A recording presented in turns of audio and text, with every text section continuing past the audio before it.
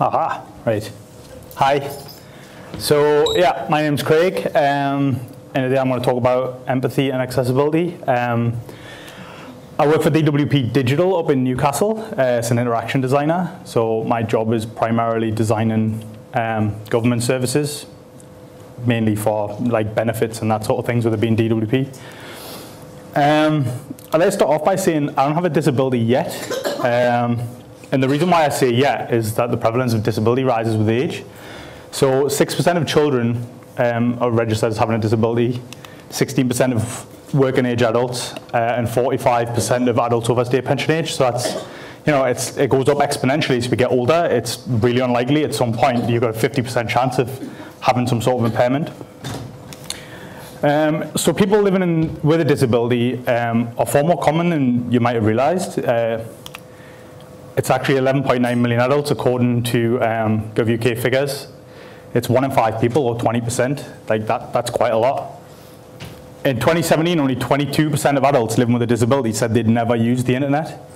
So if we take that away from the first, the first figure from the second figure, that's 9.3 million people that are living with a disability and are browsing the internet. That's 9.3 million people that could be trying to use your website or buy your stuff. And when we think of a disability, we often think wheelchair, but you know, there's so many things that are less obvious, and, and this can really make you ignorant. It probably doesn't help that this is the, you know, this is if, if you look up disability logo, this is what you'll find. Um, it's about 50 years old, and it's kind of doing a disservice. It's normally accompanied with things like disabled parking, and the problem with this is that it automatically assumes that the person is disabled when loads of people might need to use that parking space for other reasons that might not be as obvious. There's been a, a thing recently where people have tried to redesign the logo. Um, the one on the right is a lot more empowering. It shows the person being a lot more independent than the one on the left. Um, and, you know, they're kind of in a propelling forward motion, kind of, you know, getting on with things, and it, it's a lot less. Um, the one on the left, they're kind of just, you know, it's not as not as obvious. This is um, now going to be, well, they're looking at trying to like change the wording around it as well. So it's accessible parking means um, it could be used by anyone with these things. Um, and, and just suddenly like the, the message is a lot more empowering basically with this wording.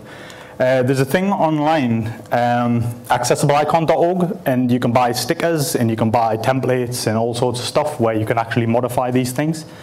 Uh, i think it's worth saying that I think you're meant to modify them on your own properties and your own thing. I don't think you're supposed to go out and like vandalize things. That's not what I'm trying to like get at, but you know, you can't get these things online if, if that's what you're into.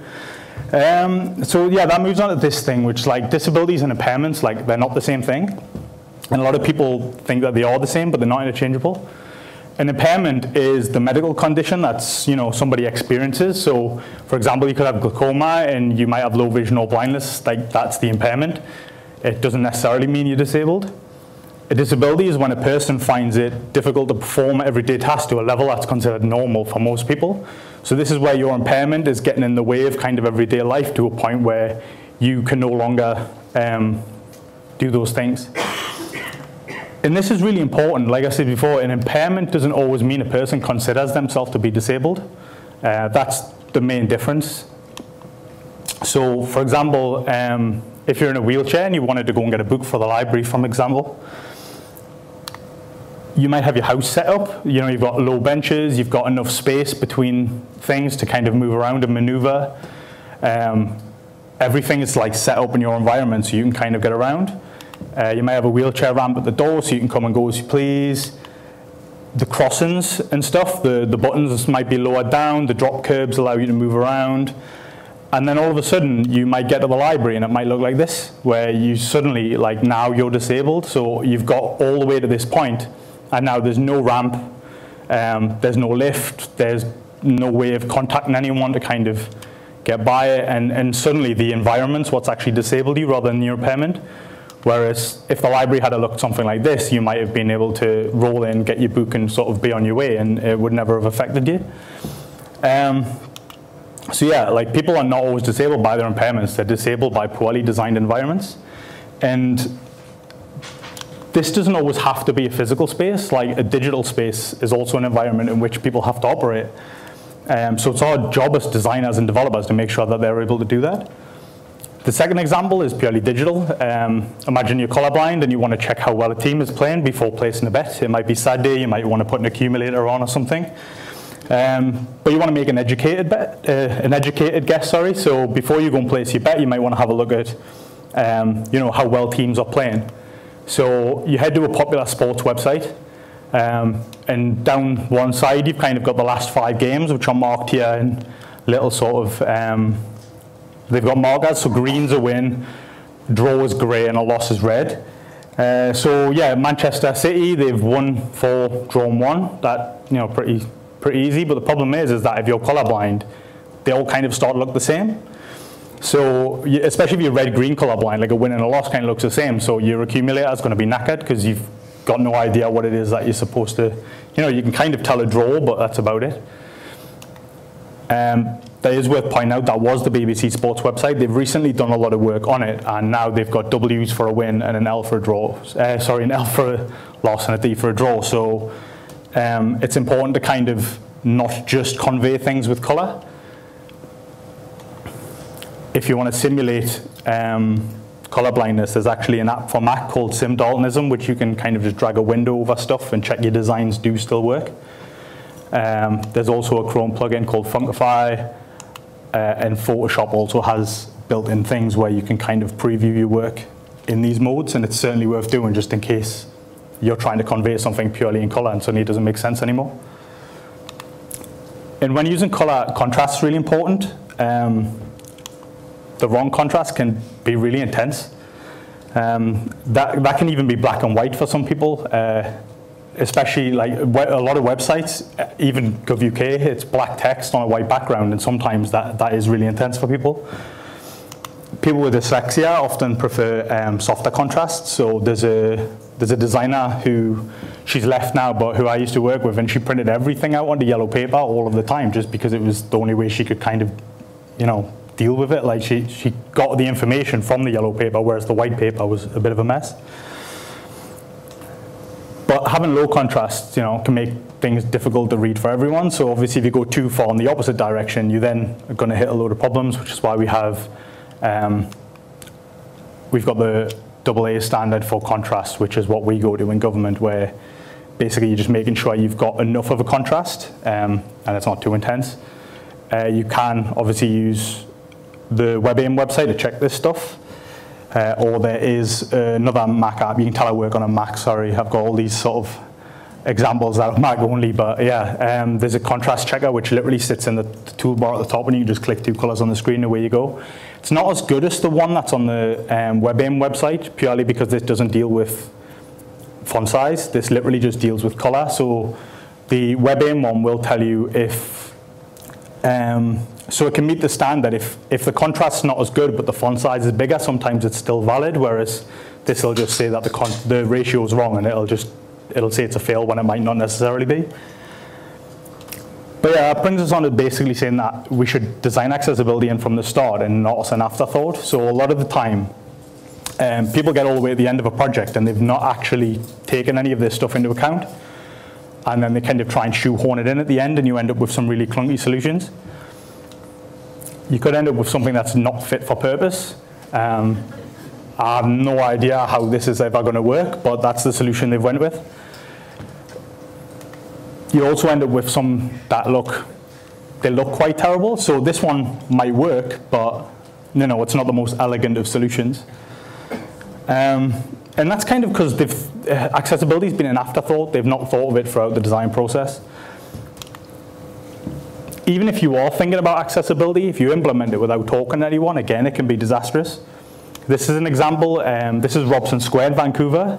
And if you go through examples of, you know, accessible design, this comes up time and time again. And the idea is that they've obviously built the ramps into the stairs and tried to make it look really aesthetic, but it's an example of doing something and not actually talking to the users that'll have to use it because if you talk to people or you look, well, you just have to look it up online and there's loads of people saying that basically the ramp's too steep. So it's supposed to have a a 1 to 16 gradient, preferably a 1 to 20, which means for every meter you go up, you kind of need to go 16 along. Um, and this is only to 12, which makes the ramp really steep. And it means that if you get halfway up and you get tired, there's no grab rails. So you kind of, you know, you're going to end up coming back down at quite a speed backwards. There's also no barriers at the side, so you can't actually go down the stairs sideways if you want to lose balance at the top. Um, and obviously, because the ramp's really steep, if you get up too much speed coming down it, you're either into a wall or you're down these steps here. So there's a lot of people that actually say, although it looks aesthetically pleasing and they've kind of thought about it, they haven't implemented it right because they've not involved the people that actually have to use it.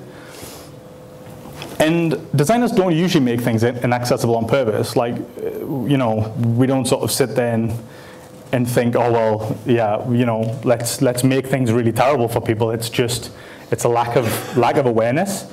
Um, as designers, we often design for ourselves. Like, we kind of look at stuff and we think, well, you know, what would I like? How would I like to do things? And that's kind of the solution we come up with. This is an example of um, King's Cross Station after they've done a recent refurb, and there's obviously a drop in the barrier, but some designers went, you know what would look really good is if we just took that black all the way along to make it symmetrical and you know for, for my eyes that looks a lot better but they've obviously missed the point as to exactly why that was there in the first place.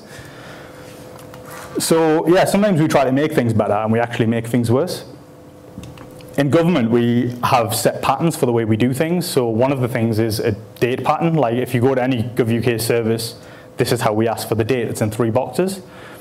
And what happened with us was um, we took this out of research and in several sessions, there was people who were trying to do this. They were trying to put the word of the month in the second box. So they put 3 September 1986. They hit the button to go and they got a validation area where it was like enter a valid month, and it's like, yeah, but I put September in. That is a valid month. Um, and this this was a this was just a normal like um, scenario where somebody was clicking in the box with a mouse, typing it in, whatever. They weren't using any assistive technology at this point. And we were like, oh, well, that's easy. We can just deal with that on the back end. So, you know, we can just say, well, if they put in September, we'll turn it into a nine on the back end and then like everything will be fine and this will work. And it did. Like people put September in and then it went straight through and on the next screen it was like, I was a nine, like job done. Then we tested with the Dragon user. Um, for anyone that doesn't know what Dragon is, basically you can just speak commands at the screen and it'll, you know, you can say something like click continue and it'll look for a button to click. That is called like labeled continue. The problem is Dragon's like smart. Um, sometimes it's too smart to the point where um, if you, so if you tag your HTML up properly, Dragon can kind of decipher some stuff which you might not have, which, which we weren't really aware of at the time. Um, so for example, if you've got an input type of text and an input type of number, if it's number, Dragon only tries to put a number in the box because it's all, you know, it's type number, so what's the point in putting words in? So because we changed it to text to take the month, we ended up actually breaking so we'd made it better for some people, and then we ended up completely breaking it for others.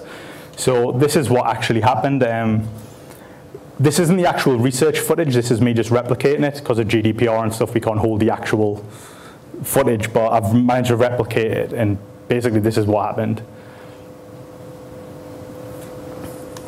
Oh, is that not? There's no sound coming out now. Click D. Oh, there we go. Three. Press tab. Nine. Undo that. Nine. Undo that. Four nine. Undo that. Four nine. Undo that. Zero nine. Press tab. So yeah, basically, this guy was getting really frustrated because obviously he was even trying to spell it out. He was going O9 and it was typing O-H-N-I-N-E in the box. So um, yeah, so we'd obviously tried to fix one thing and then completely broke it for somebody that needed this assistive technology, um, which is why it's really important that you test with users that use this technology. Um, and if you change anything, you have to go back and retest it because up until this point it had been fine, then we changed one thing and completely broke it. So it is really important to make sure that you're regularly testing this stuff with people using their own technology. You can learn to use your device's own technology. So, for example, I always do all of my coding on a Mac, um, which has VoiceOver on it. And there's about, you can get by with about 10 commands. Um, worst case scenario, you can just get it to read the whole page out and you kind of get an idea of what's going on. But it's worth learning these 10 commands. If you're working on um, Windows, you can get the open source one, which is NVDA. It's worth learning these things and just and just having a go with, you know, if you've coded something up, then just sort of have a go with these things because a lot of the time when I'm prototyping, this is kind of the way that I write code. Uh, and my code's often quite awful, so I literally just bash some stuff in um, and off I go, and, and, it seems that it looks fine. But when you actually test this stuff, um, I've got it terribly wrong. This is an example of um, a prototype I'd built. So I'm working on a service at the moment where you can apply for bereavement support payment, and this is a staff-facing system where um, they actually um, manage the claims. And we, uh, we put some tabs into the service, and the tabs, when we actually tested them with VoiceOver, like you couldn't actually get to the tabs at all. Um, literally, it was just skipping from No. Find and visited link. No. Claimant details. So it's literally visited just jumping link. from the top. Claim. List two items. You are currently on a link. Tick visited link. So yeah, Claimant the task details. to complete the claim details it just can't, can't access at all. Um, so we've got a team in DWP, uh, the accessibility compliance team, and they've got access to a load of, yeah, Joanna sat over there actually. Um, so they've got access to a load of assistive technologies and stuff. Um, and fortunately for me, there's a, a, great guy on that team called Brett who puts a lot of, uh, basically I send him my prototypes and he goes through them and actually tests to see if, there's, if these are going to work with these assistive technologies. Um, they just kind of, he'll write me a little report and kind of say, you know, I couldn't get to the tabs and then say, oh, okay, we'll go away and look at that. And it doesn't necessarily, um, it doesn't mean that your service is usable, but it, it, helps you find any howlers that you might have in it. Um, there's quite a few times where I've sent these things over and there's stuff that we just, we've missed. And it means that if you went out to an accessibility um, research session, there's stuff in there that you would have got no value from the session because there was obvious mistakes in there that you could have found yourself before you kind of went out and tested this thing. Um, so we did some work. I got the front end dev on my team to help us with it. Um, and we kind of went through it again. And link, link, find the claim. Task to complete, selected, tab. One of two, main. You are currently on a tab. Two of two. To select this option, press Control, Option, Space. So yeah, it's a really simple difference, um, but it means that it's actually usable for somebody now that's just using a keyboard or somebody that's using a screen reader. Um, and it means we can now actually take it out and put it in front of users and we'll actually get some benefit from that session rather than them just go, well, I can't access any of this stuff. Um, and not everyone that uses a screen reader is blind, so it's important to test with a range of people. We've had um, people with dyslexia who use a screen reader, and we've also had um, people who've got dyslexia who use Dragon a lot, just because it makes things a lot easier than trying to read or type things out. Um, so it is important to try and test these with as many people as you can test them with that have a lot of different sort of issues. And like I was saying before, it's, it's really important to research regular with users, but make sure that they're using their own devices uh, and they're in their own environments, because a lot of the time, um, these things are configured a certain way so that um, people are comfortable with them and not every configuration is the same. In fact, it's really rare that you obviously find two that are. So there's been situations um, where you know you might set a lab session up and you've set the computer up and it's got JAWS on it and then you bring somebody in and they've got no idea how to use it because the shortcut keys or whatever that they've got on their device are completely different than the ones that come as the default. Um, so yeah, it's really important to test with users on their own devices and if you can go to them and they're in their own environment, you get a lot more from the session than you do if you bring somebody into a, an unfamiliar environment and try and get them to use unfamiliar stuff. So getting people on board with this stuff is really hard. Um, it's not it's not so bad in government because we're kind of bound by law to do this stuff, but particularly in companies that I've worked at before government, like there doesn't seem to be a lot of appetite for this. there, there kind of is appetite for it, but then when it comes down to the actual money and stuff, like private companies tend to just, you know, we'll, we'll park it for now. Um, but what I found works really well. Um, so even though I mean, even in government where we're kind of bound by law to do this stuff and whatnot. Like getting people on board still hard. It's it, there's certain teams and whatnot where they maybe just don't see the value in this stuff. So we have to obviously keep pushing it. And one of the things that um, I found works quite well is just trying some empathy building exercises. Um, these aren't perfect by any means, but they do they have worked for me. Uh, everybody's probably seen this thing by now. It's the the Microsoft. Um, they've got a load of stuff on sort of different types of impairments, but the fact that you know there might not just be a permanent one. So you know somebody might be blind, but they might be temporarily.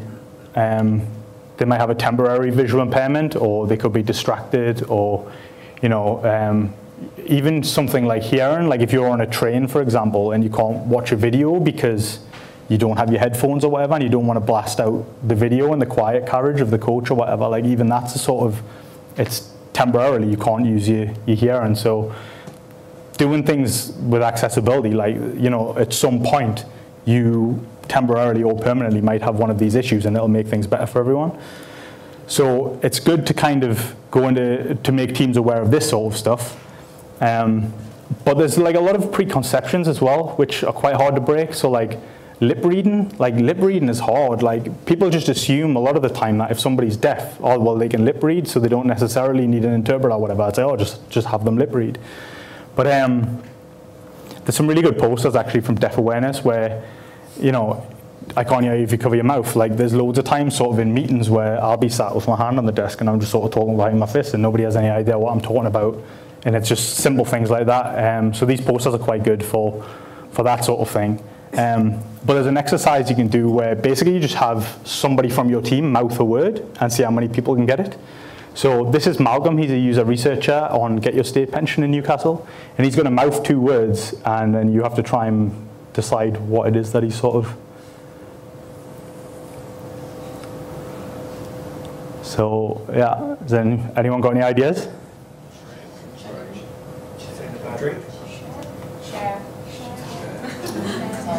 Chair and share. So they're two different words, but obviously they look quite similar.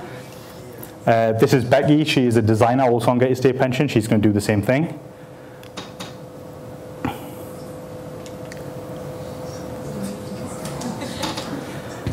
And this is James. So James is a developer on my team on bereavement. Uh, this one's really interesting because the beard makes it even harder.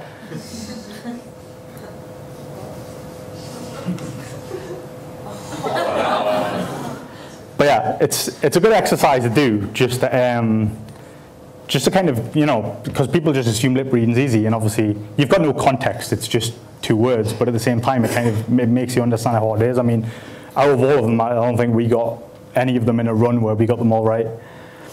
Um, we've also, I've also got these um, VINE simulation glasses um, where they kind of simulate visual impairments. So there's ones that'll do um, like tunnel vision, like retinitis, ret, uh, retinitis pigmentosa or macular degeneration. And the idea is you put the glasses on and then we kind of do a load of exercises where all you've got to do is read a poem or you know you might have to read a poster or we might put a website up and you've got to try and go through the website. Um, and obviously like there's these are good to a point. They kind of get people to understand how difficult maybe navigating a website is when you've got tunnel vision. But again, they don't kind of, um, they don't give you the same sort of sense of vulnerability that you get with it. I mean, if you don't like it, you can just kind of take them off, which is, you know, obviously that, that's a, you don't get the same sort of feel for it. But we do a few things where you just, you, you kind of try and navigate around the space and try and read some stuff. And it does kind of get people just to kind of say, actually, this, this stuff's hard. Um, another thing is just to unplug the mouse on somebody's computer and just see if they can do a, task. Just say, you know what, go to Google and look up the BBC's website and then go and try and find out what the weather's going to be like in Newcastle tomorrow. And the amount of people that can't use a, a, a computer when there's no mouse, it's, it's really difficult. Um, so even something like that can kind of get people to especially if it's a website where it's not accessible at all and you know you're trying to tab through stuff and the tab orders all over the place it can be really frustrating for people Um, playing a video with the screen turned off is another one. So if you're listening to the radio, things tend to be quite descriptive because they know you can't see anything. But with videos, a lot of the time, it's really hard to kind of grasp what's going on in the video if you don't, if you can't see it. So it could be as easy as turning the laptop screen around and just playing the video and seeing if people can get the gist of what's going on. Um, another thing is just to, to play a video with no sound or subtitles. And I mean, this is like, so you've got a news reader saying some stuff. Um, you know, she's leaning in, so it looks really important. And then you know, you've got a building with some grass on the side. Uh, you know, some more grass on the side of the building. A cement truck. Some people walking through. Like, you know, there's, does anyone have any idea what this is about?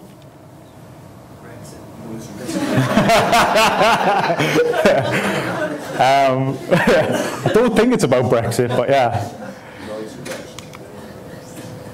But basically, just you know, by, by adding the subtitles on, uh, totally changes the experience for somebody. So, you know, they say, oh, there's a pollution problem in London. You know, put some greenery on the side of your buildings, and that'll maybe help absorb it. Thousands of plants on a wall in Victoria. There's that cement truck again, but no mention of it. You know, it just immediately you kind of, although there's no sound, immediately it, it makes sense now.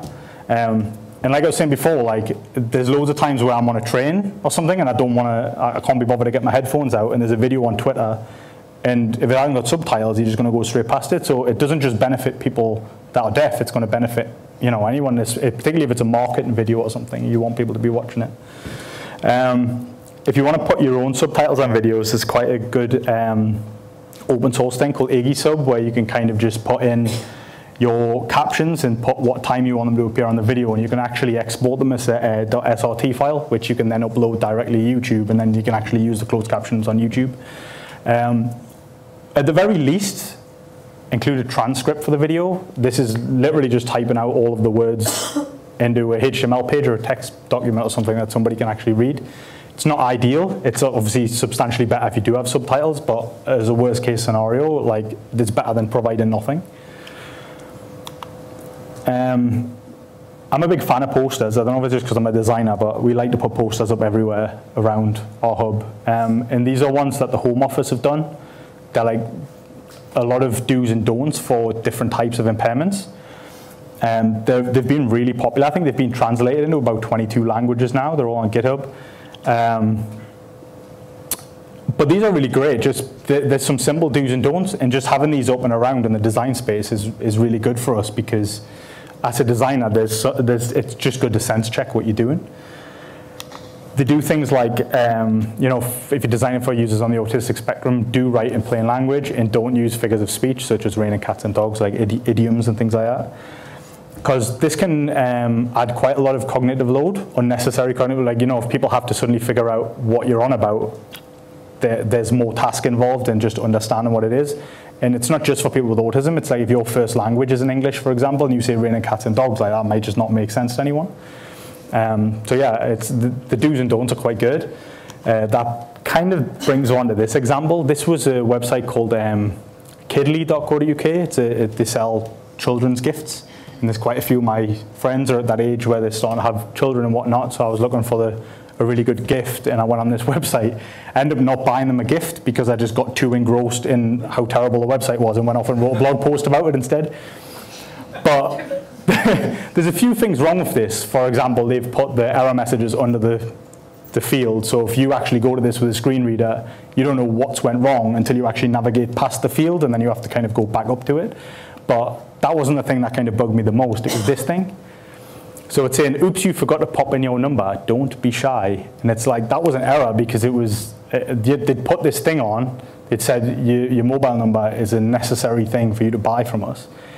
And it just kind of got me thinking, like, I'd not, I hadn't put my number in because I was shy. Like, they're making assumptions about my personality here. Like, this, it's not Tinder. Like, do you know what I mean? Like, and then it's just kind of, oops, you forgot to pop in your number. Like, you know, if, if, if English isn't your first language, what do they mean? Pop in a number. Like, there's, there's quite a few things not right with it. Um, so yeah, just be really clear and concise with your content, and then that can kind of give you a lot of accessibility for free. Tell people exactly what's went wrong, and make your error messages kind of where people can find them. If you've never seen Stephen Proctor talk, he's from HMRC, he's an excellent designer. If you've never seen him talk about uh, content, definitely do it. He does a lot of good stuff around error messages and things like that. He's wrote a lot of content for GovUK and stuff around error messages. But he just basically says write everything, like, like the GDS styles say, write everything in plain English and you can't really go wrong. And if all else fails, you can kind of just run the website through something like Wave, um, where it'll flag accessibility errors for you. Um, sometimes this is a good way to kind of, if somebody's not interested in accessibility, you can run it through here and get a big list of errors and say, this is how inaccessible your website is. The problem is, is that um, this will only pick up certain things. It's not gonna, it's not a substitute. None of these things are a substitute for actually testing with real people. Um, so yeah, this is kind of good for picking up obvious things, and you should probably do it just to find the obvious things, but you don't shouldn't rely on them because they're not enough. Um, they'll only really find obvious things, and they won't find all of them. Uh, GDS did some work where they deliberately introduced 142 known accessibility issues into a page and then ran it through these accessibility tools. Uh, and at best, it only detected 40% of them. So relying purely on Wave is not, you're not even going to find half of the things wrong with it. So all of these things, the, you know, the glasses, all of these little exercises, they're good things to build empathy and to find obvious errors, but they can never replace usability testing. Um, like I was saying before, because I work in government, we're quite fortunate. So by law, all public sector websites and apps need to be accessible by 2021. So we're in the fortunate position where we kind of have to do this stuff. So whether people want to get on board or not, they have to do it. Um, there's actually a lot of uh, legal sort of stuff all over GovUK saying, you know, you're breaking the law if they're not accessible. But private sector companies are not necessarily exempt. Um, Winn-Dixie is a big American firm. They've recently uh, lost in court because they were sued because their website wasn't accessible. Target is another American firm. They've recently had to settle for $6 million um, out of court because they got sued because their website wasn't accessible. In fact, there's quite a lot of American companies that are all undergoing lawsuits at the moment because their websites aren't accessible. Um, America kind of changed their accessibility laws about 10 years ago. So this stuff's starting to hit them now. Like it's been 10 years, like you've had your chance. Now you're starting to get taken to court. So this is probably likely to happen in the UK as well. So although it's only public sector websites that are going to be legal to start with. Eventually, this is going to catch up and the same sort of thing is going to happen. So it's better to be ahead of the curve, I guess. And this is the thing that's really annoying about it is people are spending a load of money defending themselves in court, like six million dollars to settle outside of court when they could have just done the right thing and made their website accessible for a lot less money. Um, and if it is money that kind of is what your company's into or whatever, you know, there's like we said at the start, there's 10 million people that it's it's 9.3 million people roughly that are using the internet who've got a disability, and it's it's it's people that you could sell your product to, and it's people that you know could subscribe to your things, and it's just people that might buy products off you. And if you do work for other people, say you're an agent in an agency or whatever, and you um, you know, you build websites for other people and whatnot. It could be, you know, if you say, well, we can make it accessible, that could be the difference between winning or losing a contract. And it also like, no, no, nobody's kind of doing this stuff for some reason. It seems to be like an untapped market. There's very few accessibility experts out there. And in agencies and stuff like that, I don't understand why people aren't kind of buying into this stuff more. But yeah, there's, there's a, if money's what it is, there's a lot of stuff in it for that as well. But really it's not about money, not for me anyway. Um, I think we should all be passionate about accessibility because it's the right thing to do. Um, and if we design things with accessibility in mind, then it does make things better for everyone. Um, and that's all from me.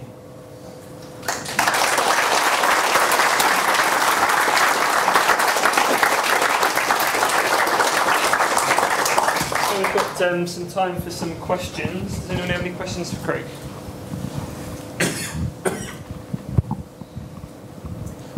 You can that one.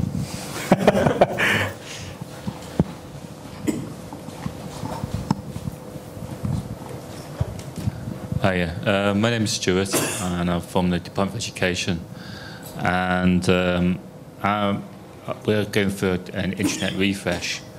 And um, one of the key things that I've highlighted, uh, it's always been talked about, but there's always never been no actions about the accessibility of our internet. And um, it just opened my eyes a bit, you know, in terms of like having, um, uh, we've got like a, what's called a neurodivergence network, people with various disabilities, impairments, and so forth. Do you think it'd be worthwhile having them working alongside us when we do the refresh? Because we're about to start our alpha stage um, end of this month, and it's going to be an intensive eight weeks, basically rebuilding the internet. So maybe to have them working alongside us, saying, "Look, does this work? Does this work?" Kind of. Yeah, um, so if you're going into alpha, presumably you're going through the sort of GovUK cycles. Uh, yeah, we've done the discovery, and um, but um, the accessibility side of things were picked up on, but weren't really um, investigated further. It was just it was touched upon. You know, okay, yeah. Yeah. fair enough. It's only when we come into these meetings and speak to um, colleagues um, outside my work who are designers. Whole basically, you know, you got to have like you know accessibility in in, in your um, internet sites that I've developed a very very very keen interest all of a sudden and. Um, bizarrely, people like in finance and and um, IT are very interested in getting their message out, across- out out there, whereas people in HR who you think be equal opportunities are very resistant. You know, Yeah. especially when it comes to like documents like Word, PowerPoint, and especially Excel. When uh, So I would say if you're doing if you're doing like alpha and beta and all that sort of thing, um, if you're following the guidance, um, you'll have to kind of do this accessibility as part of them phases anyway. Uh, you're not going to get through like an assessment if you haven't made it accessible. Um, but one of the things that we always kind of try and do is just do it as early as possible. So if you're making prototypes and whatnot, start trying to you know go through them with voiceover, get rid of any obvious things, and try and get them in front of users um, as, as soon as possible. Like the, the thing I work on, um, bereavement, all of our users are uh, civil servants. And whilst we don't necessarily have anyone on the bereavement team that has accessibility software, there's a lot of them in the department. So we just kind of hunt out people that are prepared to set aside an hour and help go through some stuff. And Yeah, um, what I'm trying to do is build up through like um, word of mouth kind of thing, you know, a network of people I can just call upon. So look, can you, can you look at this? What do you think of this? You know, so forth. And um, one of the issues we do have is, well, the last meeting we had here was um, it talked about Google Lighthouse. And I, and I tested our, one of our internet pages on it, and it was like 79% accessibility rate, which I thought was better than I thought anyway. I thought it'd be like down in the 50s. yeah, And um, but the thing is, I'm not as technical as quite a lot of you here, but I just want someone to show me how to, you know, to break it down, the figures and stuff like that. You know, in terms of accessibility, what to look for and stuff like that. That's um, that's that's a key thing. Because I really like to use the lighthouse to show like where we're going wrong. You know, in terms of like Yeah. easing the use. I guess Lighthouse is similar to like Wave and Axe and stuff, um, where they're only going to find a small number of. The, so you might have lots of accessibility issues that you don't know about if obviously only you only use Lighthouse. Um, but it's a good place to start. Um, if you can kind of iron them out in there first, so that that's a clean slate, then at least, like I was saying before, once you do start doing accessibility testing, you know you've not missed anything obvious. But um, yeah, it's just try and get user researchers involved and get it in front of people. Yeah, we've got them. In, they're, they're coming in as well. Yeah. user researchers as well. So yeah, once they come in, just make a point of saying, you know, when we, whenever we test anything, we have to include people that use assistive technologies. Otherwise, you'll get right to the end and end up having to shoehorn in. You'll end up with something like them steps, where you just have to shoehorn something in right at the end. Cheers for that. Thank you. Great. Any extra questions? Hi, thank you for that. Um, my name's Jasper. I'm here from Moonpig today. Um, and I was just wondering, so I'm a user experience designer, um, and one of the things I find interesting is finding out how other designers are actually prototyping so that you can test with this. Um, so I don't code myself, I work with some other fantastic developers, but is that the best way to test things? Is to develop it, or do you know any other methods? So I've actually got another talk about prototyping, and in that, um, so in government, the majority of us code in HTML because it's a lot easier to test something that reads a browser page if you've built a browser page, if that makes sense. So like a, a screen reader just reads HTML, so if that's what you've written, whether it's a prototype or production or whatever, it'll just read it out. Um, so it's a lot easier for us to make sure that these things are working how they should be working because we've kind of built them in the way that they should be. So we always say that prototype should be quick and disposable. So, you know, like the, the jQuery thing, we'll cobble it together. But then once we've got a rough idea it's the right thing, you know, like we've took it through a couple of rounds of research, you know, it looks like it's the right thing, we clean it up. So um, I was a front-end developer on my last job, so I'm, I'm reason like I'm proficient enough with HTML and whatnot. But if there's something that's particularly tricky, I just sit and get one of the front-end developers to help us. And what we do is try and get the prototype, um, not necessarily production ready, but just so that the page, the markup's right, and, and, and it's kind of as close to the real thing as we can get. And then you can then you can hit it with all of these tools, and it's fine. Um, I've seen I've been in places where they use like InVision a lot for prototyping. I don't know if you've ever put InVision on a screen reader, but it's horrendous. I've got an example of it on my laptop. If you find this later, I'll show you. But Yeah, it literally just reads out a number that's about 40 characters long repeatedly, and you just get stuck in it and can't get out. So I think for, in terms of prototyping, um, unless you're actually building HTML prototypes, it's unlikely you're going to be able to, to test these things until you've actually built them. Thank you.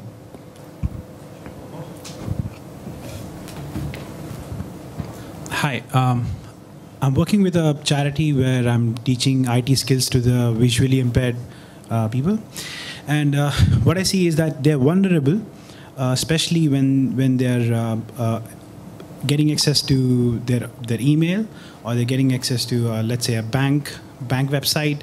So, what does the government suggest or prescribe to make it more secure for them? Because I know many passwords already because it's helping them out, but like Yeah. not not everyone would you know help them out. I should. So yeah, I think um, banks in particular is th- there's quite a lot of bank websites that aren't even usable at the best of times. Never mind using them, you know, with assistive technology. Um, and it can be really like you know if you haven't if you haven't laid out the site at all so that it can be understood with any of this stuff. Like of course it's going to be really hard to wire somebody money if you you're not entirely sure it's going to the right place.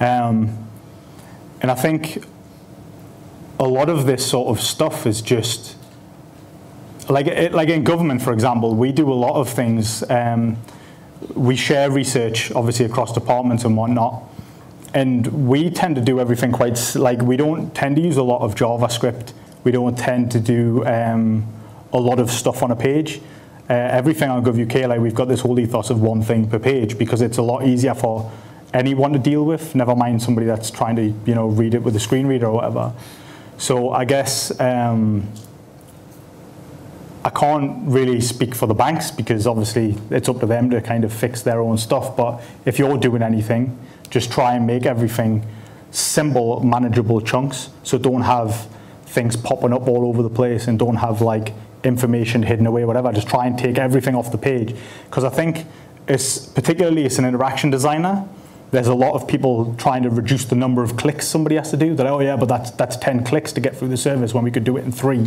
And it's like if if it's 10 clicks and and everyone understands it, it's a lot better than having it in three clicks and like 90% of people not having any idea what's going on. So I don't know if that answers your question, but I think it's up to the banks to make things simpler for people. Yeah. Just an extension. So, is is the government thinking of any oth- any further technology or any further way of at least making it more secure for them, Um, adapting any more technology? So I think from a government point of view, like everything has to, like it goes through so many tests and QA environments and everything before anything can get through. Like it is sometimes like OTT with security and whatnot. Like you, it's got to go through all of these stages before it gets kind of signed off as like, right, that's, you know, people do penetration tests and people throw all sorts of it trying to, to break it. So it's robust enough in terms of the, the technology. I think from the design point of view, it's our job as designers and researchers and stuff to test this stuff thoroughly. So outside of the technology, we need to take our screens and prototypes or whatever and make sure that somebody can get from, uh, um, not even just the digital thing, can, can, some, can we give somebody a letter and have them go, right, oh, I know what I need to do. I need to go to a link and then I need to go through this online service and then I need to finish at the end and have them understand it. So I think there's two things at play there. Like one is definitely the hierarchy has to be, uh, the, the tech stack has to be robust enough, which, it, you know, that's not my domain, but I can't imagine in government it wouldn't be because it gets everything thrown at it. From the design point of view, it's, it's what I keep saying, banging on about research. Make sure that you research this thing to death with everyone that's going to be using it.